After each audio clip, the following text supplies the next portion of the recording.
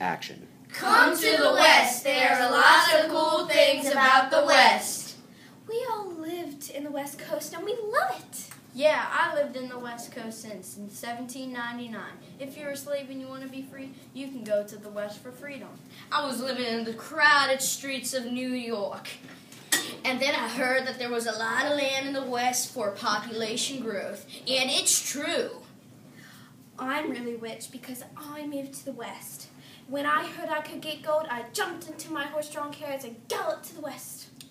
I'm just a farmer and I needed more land. And once I heard about the farming lands in the West, I took my cattle and moved to the West. Call now to win a free trip to the West. 1-800-WIN-WIN-1. Move to the West or email us at www.movetothewest at gmail.com. Woo!